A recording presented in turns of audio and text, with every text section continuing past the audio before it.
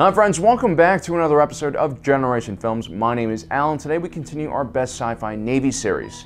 In our last episode, we broke down the 10 flaws with the droid-heavy Separatist Alliance Navy. Today we'll be looking at what makes this faction great. Don't forget to stick around to the end of this video where you guys can vote in a poll where you get to rate this faction. In the end, your vote is going to determine which faction wins the best Space Navy series. Also, don't forget to subscribe, hit that notification button down below so you don't miss out on the rest of the series.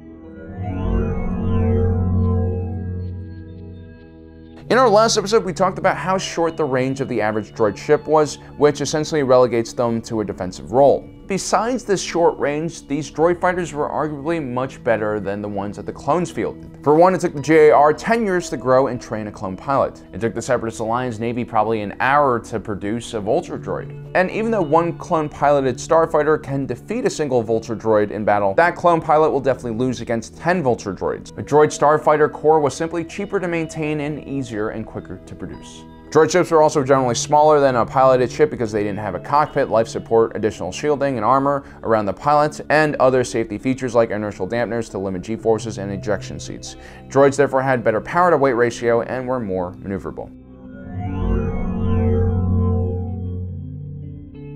One of the most terrifying weapons in the Separatist Alliance Navy was known as the Buzz Droid. Usually fired out of some kind of canister or missile, these were clusters of droid ships that specifically were designed to latch onto enemy ships and cut through the hull, disabling crucial systems and eventually venting the entire craft into vacuum. This was an incredibly terrifying ordeal for organics in a smaller single-seat fighter. Very few ships actually had countermeasures to defend against these kind of weapons. All one could do is wait for them to cut through your hull and kill you. And because of the way they were developed and their diminutive size, it was relatively hard to see them on the battlefield, and oftentimes pilots didn't realize they had picked up a buzz droid until it was already doing damage to major critical systems on board. Even when the war was over, there were still many active clusters of buzz droids flying around the galaxy, which proved to be a huge problem for civilian shipping. These were basically space landmines that could only be defeated by Space Princess Diana. The Separatist Navy happened to be one of the few factions that heavily relied on missile technology. Missiles were relatively expensive when compared to turbo lasers and other energy weapons, but they more than made up for it in performance. See, missiles don't work on a line of sight principle. They could go around obstruction and they could travel extremely long distances and allow a ship to attack another ship without necessarily exposing themselves to counterattack. This is especially true in the Star Wars universe where most of the Separatist Alliance's enemies use line of sight turbo lasers. The payload on a missile was also far more powerful than a turbo laser, although countermeasures were oftentimes more effective against a missile than energy weapons. What made the Separatist Navy so dangerous was that it had line of sight weapons and also missiles. It gave them a lot of options when encountering an enemy. For a force that had a huge weakness against ionic attacks and EMP pulses, the Separatists definitely invested heavily in this technology for their own ships. The command ship Malevolence incorporated a gigantic ionic cannon that could disable an entire fleet on its own. This was an unprecedented amount of firepower for one single ship. I'd argue it's a much more useful weapon against fleets than a Death Star's main laser weapon. The Separatists also used a variety of ion bombs, ion cannons, and ion torpedoes. Combine that with everything else we've talked about, like the buzz droids, the missiles, and the turbo lasers, and you have an incredibly, incredibly dangerous force. The Separatist Navy was first and foremost an offensive military with an immense amount of destructive power. The Imperial-class Star Destroyer could hold a legion of stormtroopers, around 9,000 men. This is a lot of people if you think about it. Not only do you have to house these individuals, you also need to feed them and give them recreation areas. During the Republic era, some clones were stored in stasis pods to save space on ships. But the B-1 battle droid, which I had as a Lego Technic form as a kid, folds up neatly into a small shape. While in this sleep mode, they would recharge and update their software. They took up very little space, so even the smallest capital ships in the droid army could hold a ridiculous amount of troops on board. The Munificent class frigate could hold 150,000 B-1 battle droids, while larger vessels like the Lucrehulk Hulk battleships could hold closer to a million, and the Providence class command ship could hold 1.5 million.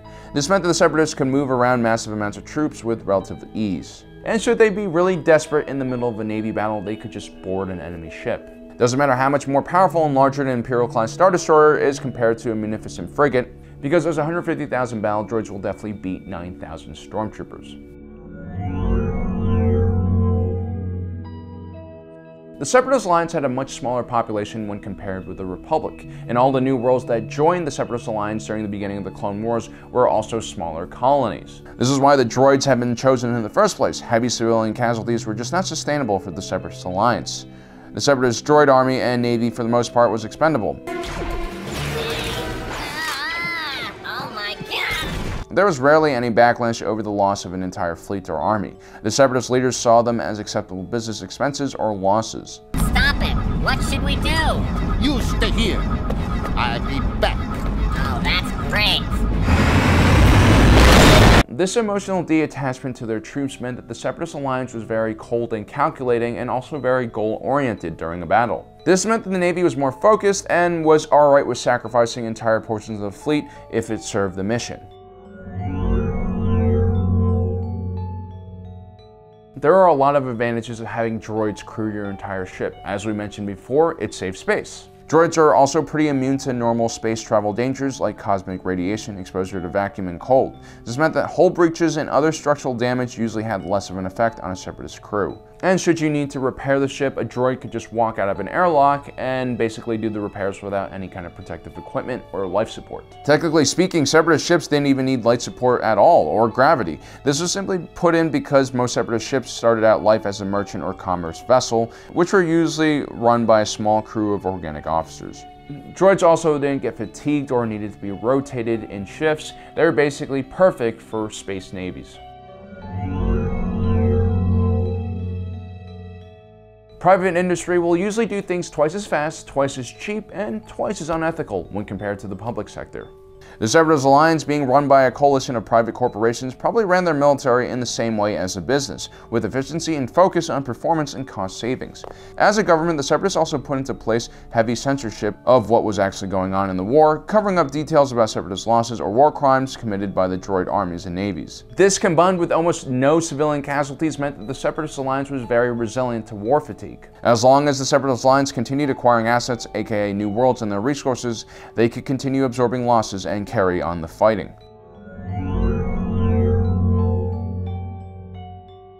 Although few in numbers, the organic generals and admirals the Separatists did have definitely outclassed their Jedi counterparts when it came to strategy and tactics.